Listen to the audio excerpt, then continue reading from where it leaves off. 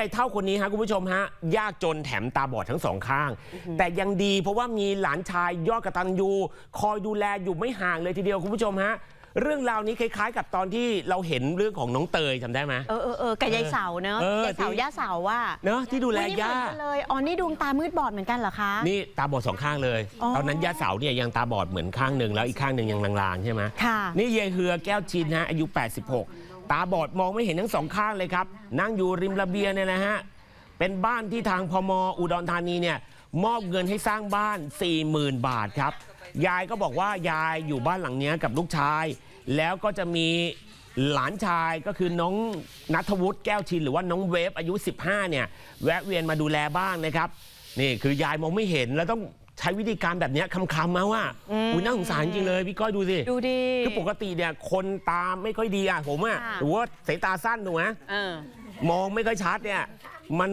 โอ้โหก็แบบรู้สึกว่าอึดอัดอยู่แล้วอะใช่นี่คนมองไม่เห็นเวลาจะค่ะหยิบจับอะไรมันต้องคลำอย่างเดียวอะคือเปลี่ยนที่เปลี่ยนทางในการวางของไม่ได้เลยนะคะ ไม่ได้เลยแล้วเมื่อกี้เนี้ยเวลายายจะเดินไปไหนเนี่ยต้องค่อยๆใช้มือคำทางนะคุณผู้ชมฮะนี่ครับ ผู้ใหญ่รัศมีสมหนองอ้อครับ ผู้ใหญ่บ้านหนองปะซิลครับ ก็เล่าให้ฟังบอกว่าก่อนหน้าเนี้ยยายเฮือเนี่ยมีลูก 8 คนตายไปแล้ว 4 ใช่ไหม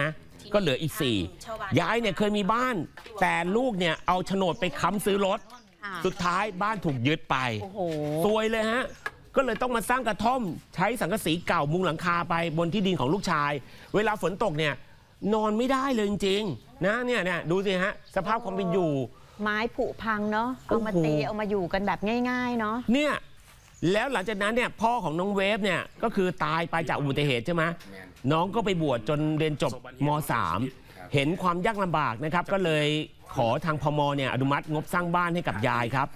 อาศัยเงินจากเบี้ยชราแล้วก็เบี้ยคนพิการนะครับ ก็มีหลานชายนะฮะที่เป็นหัวเลี้ยวหัวแรงอีกคนหนึ่งรับจ้างทำงานทุกอย่าง แล้วก็หาเงินมาเลี้ยงยายครับ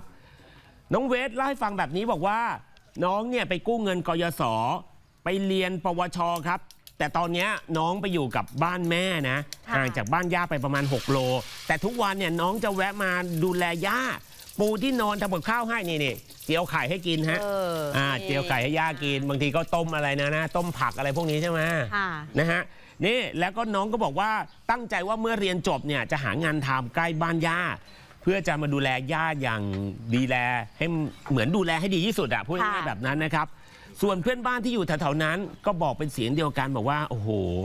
เห็นครอบครัวนี้แล้วรู้สึกสงสารอืมนี่ บางคนก็แบบว่านี่เอาไข่นะ เออดีจัง นี่ข้าวสารอาหารแห้งเนี่ยค่ะ หิ้วมาให้เลย เพราะว่าอะบางทีเนี่ยคนต่างจังหวัด มีอะไรก็แบ่งๆกันกินนะนี่นี่นี่โอ้ยได้อิ่มไปหลายมื้อเลยนะ นี่ยายยังไม่รู้เลยนะ ว่ามีคนเดินเข้ามาเพราะว่าตาบอดไง ค่ะ แต่พออะพอได้ยินเสียงแล้วแล้วก็เอาไข่เอาข้าวสารมาให้นะ เออ ยายก็ดีใจอะดูสีหน้าค่าตาแล้วแต่ละคนเนี่ยไม่ใช่มีแค่คนเดียวนะ ค่ะ เพื่อนบ้านหลายบ้านที่อยู่แถวๆนั้นเนี่ยดูสิฮะ แวะเวียนมาดูน่ารักเหลือเกินฮะคุณผู้ชมโอ้โหนี่แล้วพอบางทีเนี่ยยายเฮือ ชอบกินไข่เจียวใช่ไหมค่ะ เพราะหลานชายรู้เท่านั้นแหละฮะ ตั้งเตาเลย เจียวไข่ให้ยายกิน โอ้โหน่ารักที่สุดนี่มีปลากระป๋องด้วย มีบะหมี่กึ่งสำเร็จรูปด้วยอืมเอออืม อิ่มไปได้หลายมื้อเลยนะคะ